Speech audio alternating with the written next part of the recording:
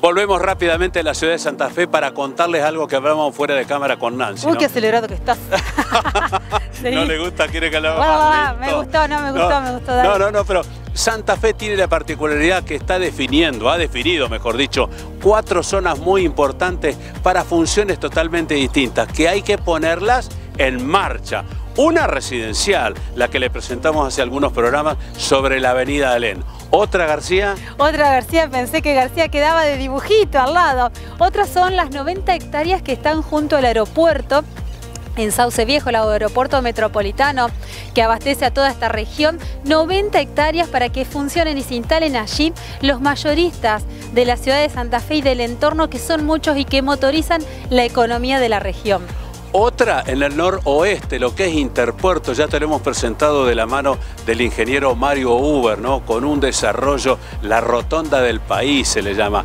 Y hay una cuarta, eh, que ya lo hemos presentado también, y que son los terrenos que están ubicados detrás de la estación Belgrano. La estación Belgrano, ubicada, recuperada sobre Boulevard Galvez por detrás, muchas hectáreas que funcionaban con el ferrocarril cuando él funcionaba allí en esta estación Belgrano, pero ahora son parte del ejido urbano en una zona muy céntrica con todos los servicios listos para que esa urbanización sea apropiada por todos los santafesinos y ahora te lo presentamos en qué instancia está. Bueno, hay un primer paso que es simbólico y que es muy relevante. Es un decreto de desafectación de la calle que va a unir este, ambos barrios, Candioti Sur y Siete Jefes. Pedro Ferré, que tenemos el proyecto terminado, incluso la licitación ya en marcha, pero hace falta el decreto de firma del presidente. Esperamos que en los próximos días salga porque eh, ya el área de transporte pasó a presidencia y estamos seguros de que el presidente, que tiene también mucha sensibilidad con la ciudad, lo va a firmar. Ese es un paso muy relevante porque implica la decisión definitiva de ferrocarriles de llevar esa playa de maniobra de trenes de carga a Laguna Paiva.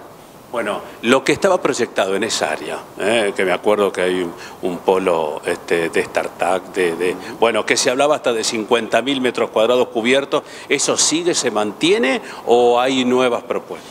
Bueno, ahí la pelota está en el Consejo Municipal, porque es el Consejo el que tiene que definir los usos de estos terrenos. Eh, ya hubo en su momento una definición respecto de que esos terrenos al fondo de la estación Belgrano tengan una alta y media densidad, de manera de aprovechar bien esos lotes con generosos espacios verdes y espacio público.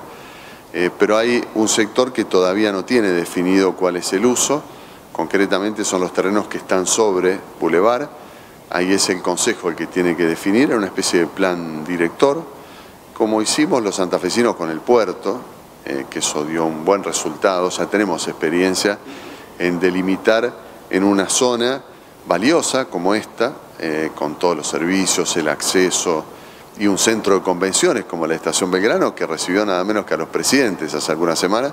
Por supuesto que nuestro equipo de concejales, pero también los otros bloques van a trabajar fuerte para que esas eh, dos hectáreas más o menos, algo más, que están detrás de la Estación Belgrano, eh, sean un futuro desarrollo de la ciudad de Santa Fe.